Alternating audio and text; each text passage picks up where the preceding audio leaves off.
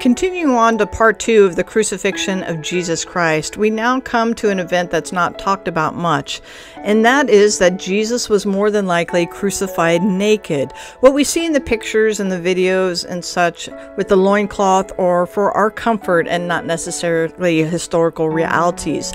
It's pretty well established that Romans crucified people naked to bring the greatest possible shame.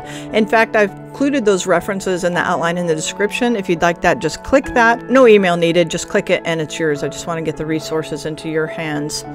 So, this wasn't new and was practiced throughout history. The focus of the groin to cause pain among a torturing process was practiced by the Syrians and practiced by other civilizations, practiced by the Romans. And yeah, it was just part of the culture. And sorry, guys, if you are watching this, Sorry. The question then becomes about what about the women at the cross? Would they have been at the cross if Jesus was naked?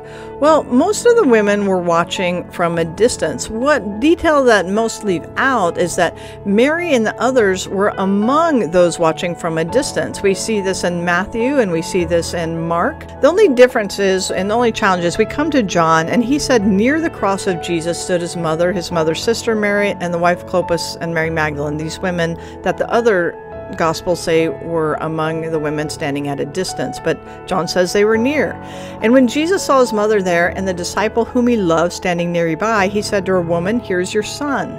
Well, we have to understand that near is a relative term, but we know that of the women, Mary was close enough that Jesus spoke to her and his disciple John. Now, this isn't too big of a surprise because being his mother and raising him, and John, a man and disciple, it may have been more appropriate that they were near enough to talk with Jesus. We don't see other women talking to Jesus, which may mean they were among the other women, which was a distance away, but still near compared to the rest of the townspeople. Now, some have said since Jesus was Jewish, the Romans would have wanted to treat Jesus differently and have covered him to respect the Jews. Well, I'm not sure of that because the Romans who crucified Jesus hated the Jews. In fact, Josephus in the 70s spoke of mass crucifixions that were motivated out of the wrath and hatred they bore the Jews. This was not a new thing in AD 70.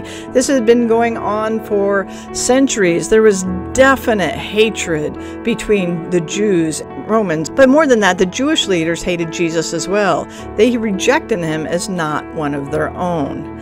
So I would have to say, First of all, there was little reason to give Jesus special privileges considering he was hated by both Romans and Jews. Secondly, crucifying naked was standard shaming practice for the Romans. In fact, Michelangelo even made a statue of this of the naked Jesus. And third, the point of the cross was maximum suffering and humiliation. They weren't trying to go easy, they were trying to intensify and maximize humiliation as much as possible.